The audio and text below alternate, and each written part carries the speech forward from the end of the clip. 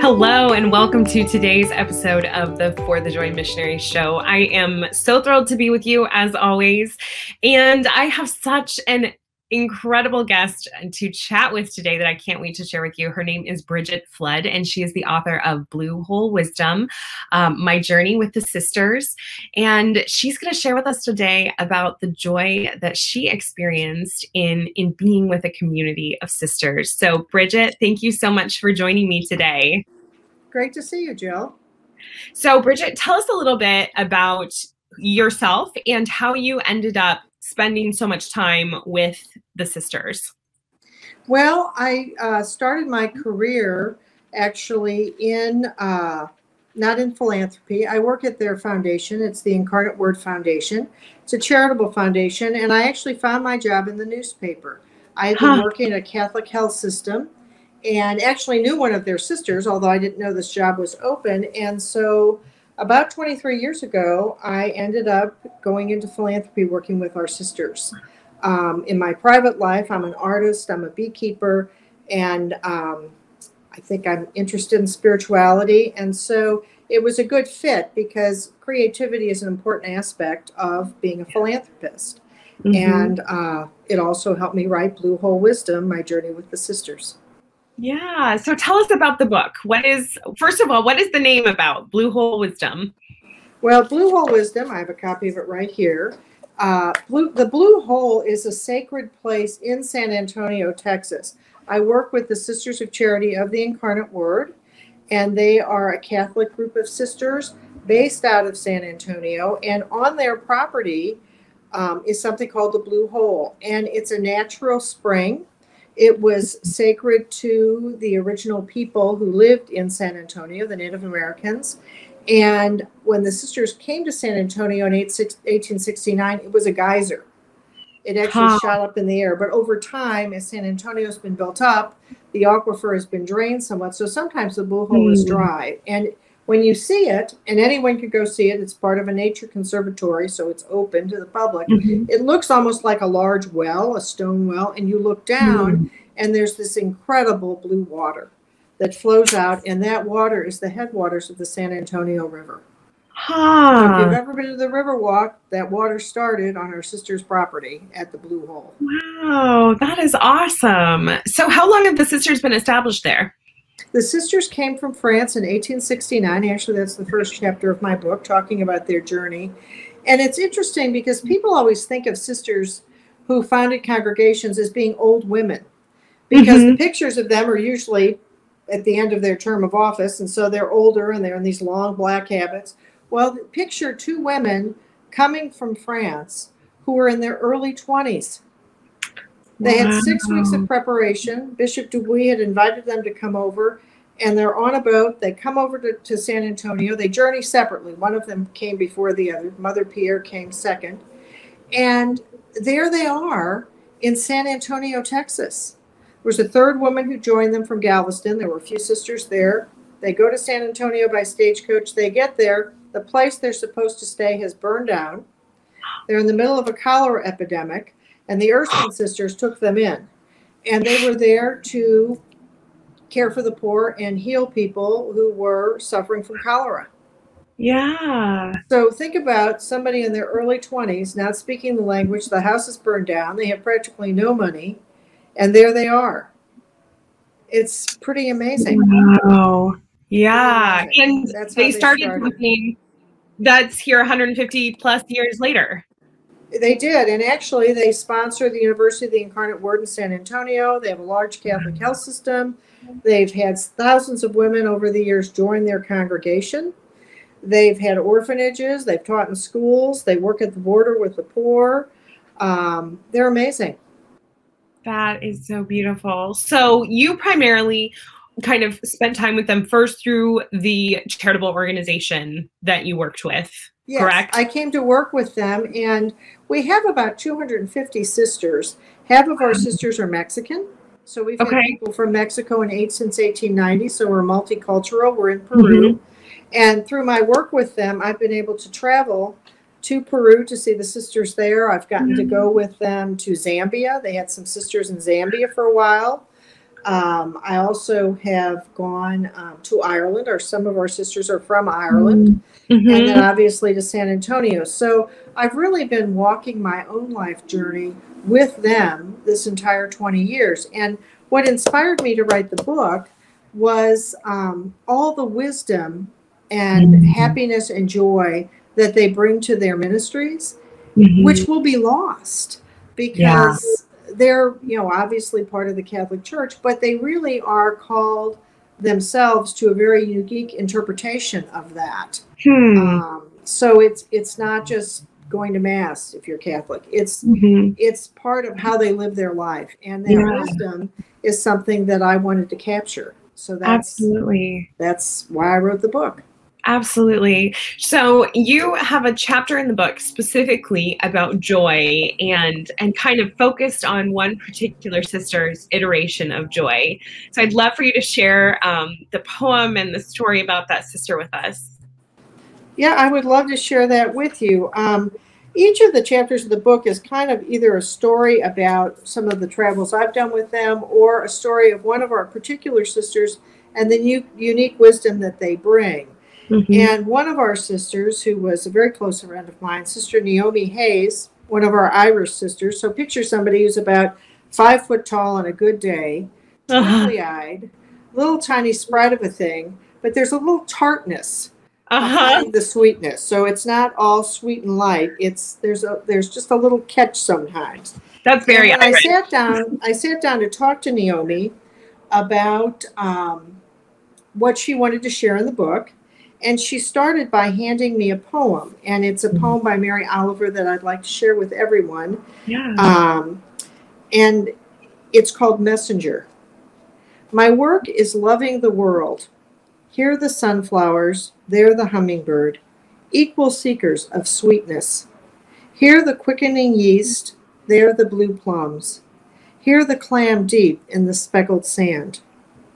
Are my boots old? Is my coat torn? Am I no longer young and still half perfect? Let me keep my mind on what matters, which is my work, which is mostly standing still and learning to be astonished.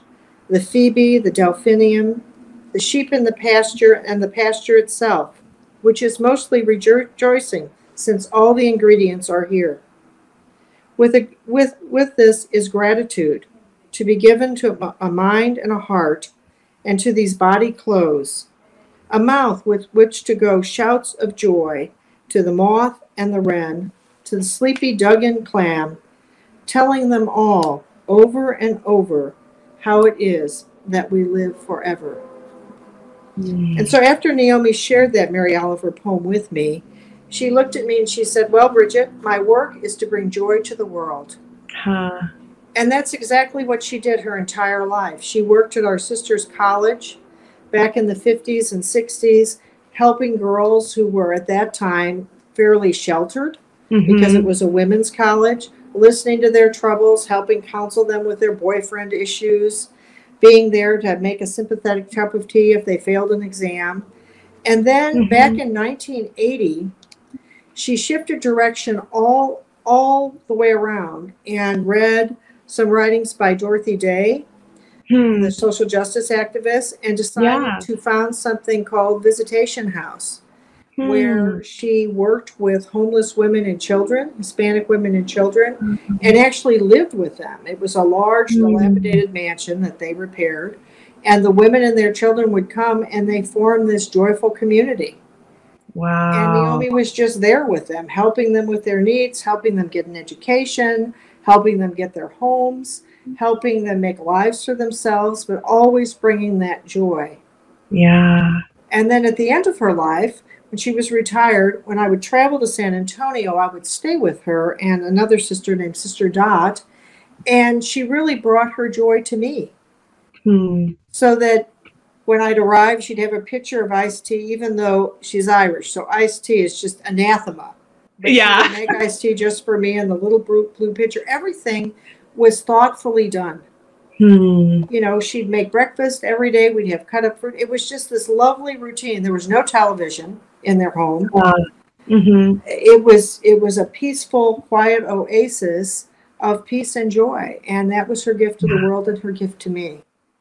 Yeah, An amazing woman, amazing woman. That is so beautiful. That is something that um, I've heard so often in relation to this idea of of women that are called to the sister um, to the the you know life as a sister um, this idea that they have this very particular joy that is something that is so hard for people who, especially people who are not um, you know do not have faith at all or do not have particular faith in jesus to understand but it's it's really something that flows from their vocation or should flow from their vocation well, it really does. And you know, that's one of the misconceptions that I encounter a lot. People assume that the reason so many be- people became Catholic sisters back in the 50s and 60s was because there was nothing else for them to do.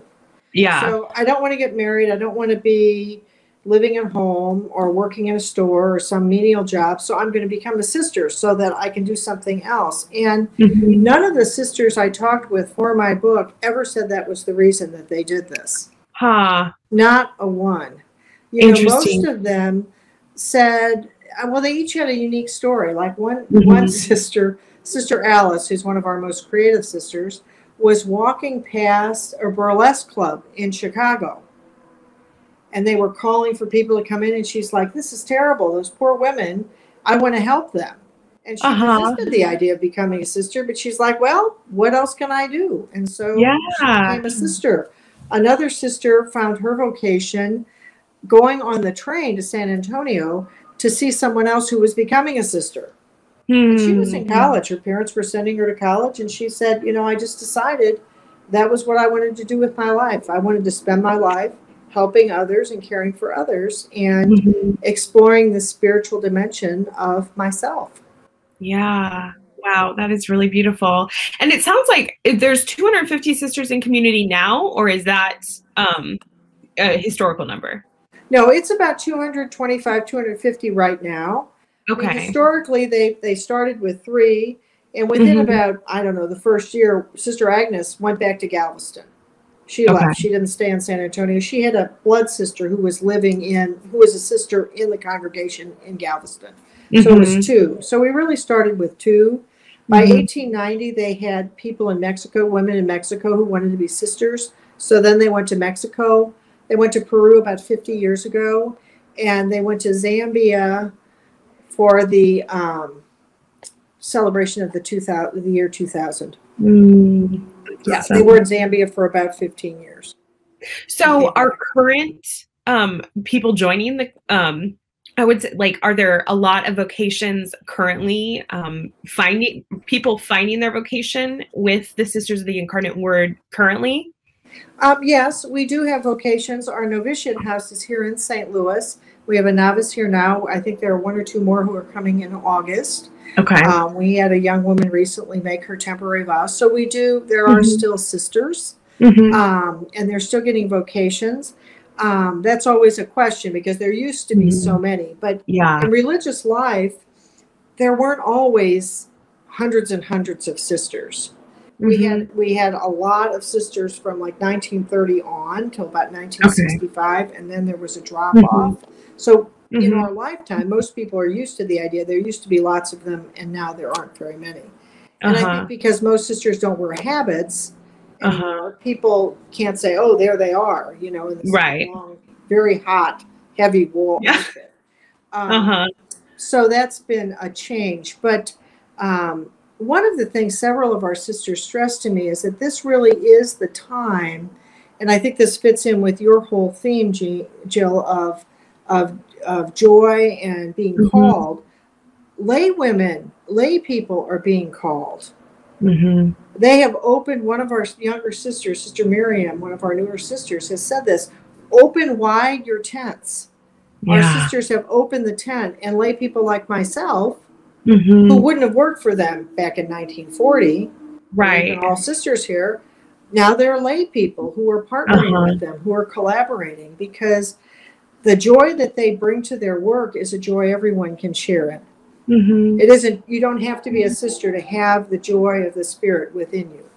Yeah, absolutely. And I think that that's such an important conversation because I I hear so often the phrase nowadays that the future is lay like being like lay people are going to be the people that are really taking the active role of leadership in the church obviously us you know side by side with those who are called to holy orders but how much empowerment there is going on in the people of God. And we are able to see what is possible so much through the example of women and men that have given their lives in such an extraordinary way um, to the pursuit of Christ and to the pursuit of caring for others in such a radical and all encompassing way. No, that's very true. And and our sisters' spirituality is really the idea of the incarnation. So to, to mm-hmm. our sisters, God is present in the world around us. God is present in mm-hmm. this relationship, this conversation you and I are having, in mm-hmm. the joy that we bring to relationships with our family, our friends, people that we work with, people we are helping, people who are who are who need to be reached out to. We're bringing that joy and God yeah. to them. And Christ obviously was the incarnation of God. Mm-hmm. But the incarnation belongs to everyone. That's yeah. the first thing our sisters would say is it isn't that they have the mission and they're giving it to you. We mm-hmm. all have the mission. We all have the joy of that spirit within us. It's mm-hmm. just a mm-hmm. question of bringing it out and sharing it with the world. Yeah, that is so beautiful. So, do your sisters primarily live in community with each other now, or are they like, excuse me, like Sister Naomi, where they kind of live with their individual mission, kind of in their individual mission fields? Most of our sisters live in small groups. Okay. So the days of them living, you know, several hundred people in one giant sprawling building is really in the past. Our mm-hmm. sisters live in smaller communities, but they typically are with someone else. Okay. I mean, there are instances where a sister might have a ministry that's far from everyone else, and so she's mm-hmm. by herself, but typically they're in these groups. So they live in community. And um, the community life, I mean, they, they in the morning they get up they pray they you know they have a routine mm-hmm. um, that they're very faithful to so it's a wonderful experience to be able to stay with the sisters yeah to be a part of that whole spiritual context when i mm-hmm. go to san antonio and i'm with our sisters on their main campus by the blue hole i can't tell you what a wonderful feeling it is to just be surrounded by this love by this joy by this mm-hmm. care it it's just like being wrapped in a wonderfully soft blanket. Yeah. Love. It's wonderful. Yeah. And I love what you said about their routine and how, um, you know, it's very dependable and very based in their spirituality. Because I think what we, um, I, I will never forget looking at the schedule that Mother Teresa created for her sisters in Calcutta. Because you would think, okay, they're, you know, serving in the slums of Calcutta. This must just be like all serve all the time, you know, try and get as many people through the door situation and that's not what they did at all it was very um, almost half and half of this contemplative time and prayer and the sacraments and things like that. And then also their time serving and being with the poor because they understand how much that they have to got to be filled and they've got to be grounded to be able to do the work that they do. And i think that that is one of the most powerful examples that we can take as lay people for how we structure our lives because I think we also get into the like, you know, all work all the time, how much can we fit in and and don't have those rhythms of renewal like are built into the life um, that a lot of people in holy orders live. Yeah, I mean, prayer is a big part of their life. I remember when I was in Mexico in Guadalajara, and our sisters have a large high school there, and we stayed at the convent and in the morning, I woke up, I'm going to say it was about 6:37 in the morning and there they were in their small chapel and they were all praying the office together. Mm-hmm. There were mm-hmm. about I'm going to say a half a dozen sisters there praying and it there was something so beautiful about that. You know that yeah. they they start their day with prayer at our office here. We start every meeting with a prayer. Mm-hmm. It's just mm-hmm. a given that this is part of who we are. It isn't an add-on.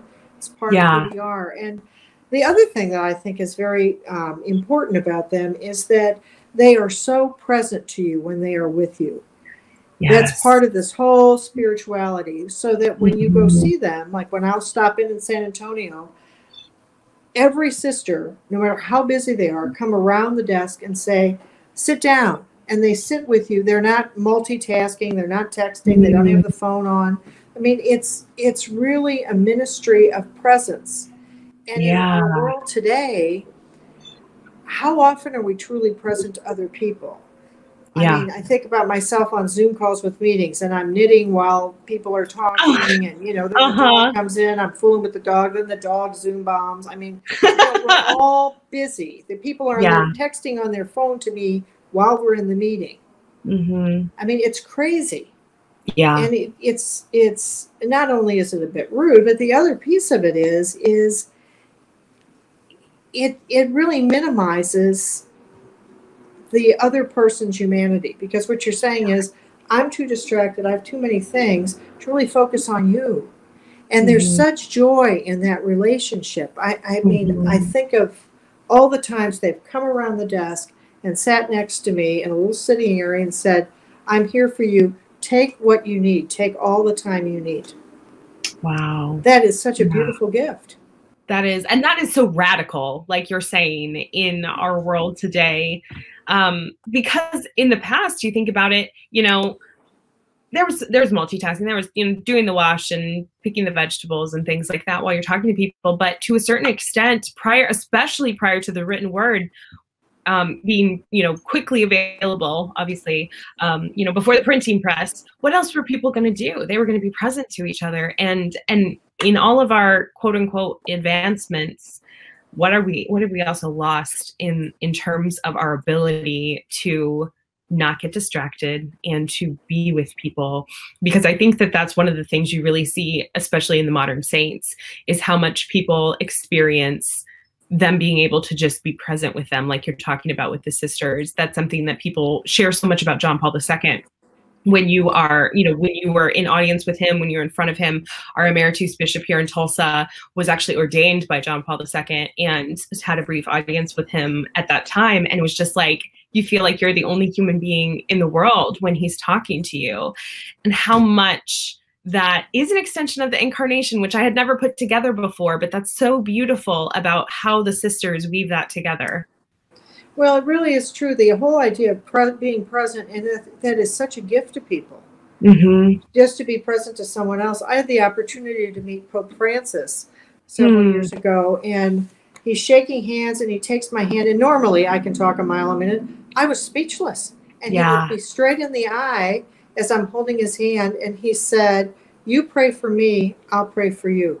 ah But he looked right at me, and then he went and looked at the next person. And what really Mhm. impressed me is that the people he spent the most time with, because I was with some Catholic Foundation people, so people who could give funds, uh-huh he spent very little time with that group. He only talked to the first few people. Then he turned, and there was a, a group of people who were with children who were in wheelchairs.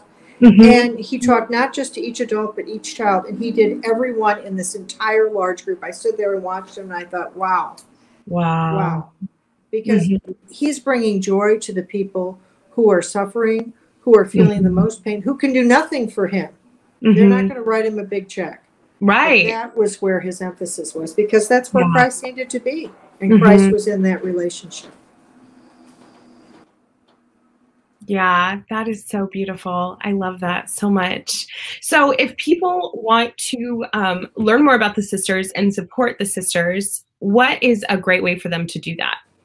Um, the best way to do that would be to go to our sister's website, which is www.amormeus, which means my love in Huh. Latin. That was on their scapulars on their old habit. And that's A M O R M E U S dot org. If you're exploring a vocation, there's Hmm. information about vocation ministry there. Um, there's also information about our sisters' work in the United States, Mexico, and Peru. Um, and uh, there's all sorts of information. Yeah, awesome. So we'll link that in the show notes of this. We'll also link to your book, Blue Hole Wisdom, um, My Journey with the Sisters. And um, so people can, can pick that up as well. I am so excited to read it. Great, great. And I would just leave people with this one thought, and that is our sisters came to a, in response to a call from Bishop Dubuis, where he said, Our Lord Jesus Christ, suffering the multitude of the sick and infirm and of every kind, seeks release at your hands. And those hands are the hands of everyone who is watching this podcast. Hmm. It is hmm. our hands. It's not just the hands of our sisters, it is the hands of each and every one of us. All of us are called to bring that joy to the world, to others. Absolutely. I love that so much. Thank you so much for your time, Bridget. It's been such a joy to talk to you.